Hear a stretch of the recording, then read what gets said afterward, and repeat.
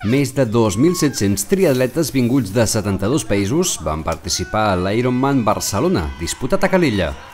La prova es va obrir amb els 3 km 800 metres de natació, dominats pràcticament des de l'inici pel mallorquí Carlos López, que només una setmana abans havia guanyat l'Ironman Mallorca.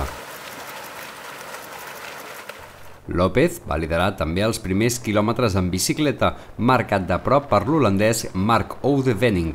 Darrere seu començava la persecució un grup gros en què hi havia els favorits Patrick Nilsson, Johan Ackermann i Miquel Blanchard, entre d'altres.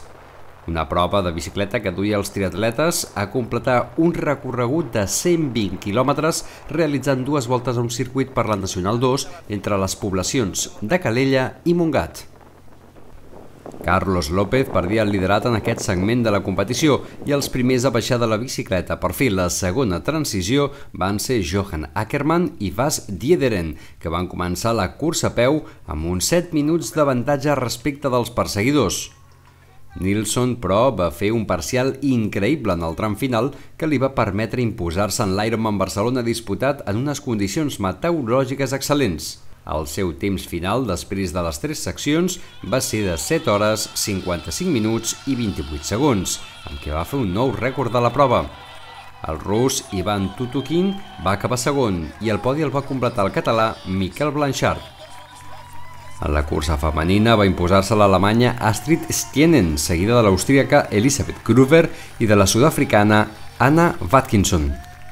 Bé, estem molt contents doncs, perquè 3.000 triatletes de tot el món, de més de 74 països, han vingut avui a, a participar aquí a, a Calella, a Barcelona, a aquesta regió del Maresme, que ja és tradicional dintre de, del circuit mundial d'Ironman, i molt contents d'aquesta participació, d'haver estat eh, un referent més, com no, a nivell europeu, de curses de primer ordre d'aquesta magnitud i, sobretot a Ironman ser un referent de, de cursa ben feta no?